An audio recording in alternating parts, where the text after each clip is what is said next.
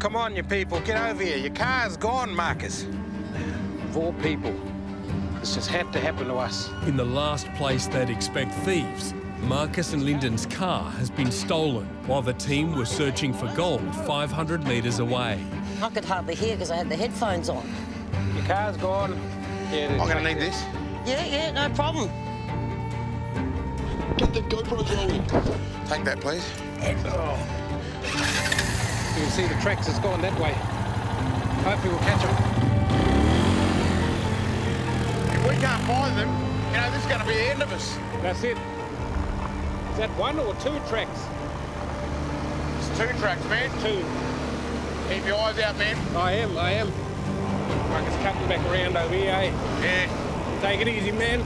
Yeah, I will, man.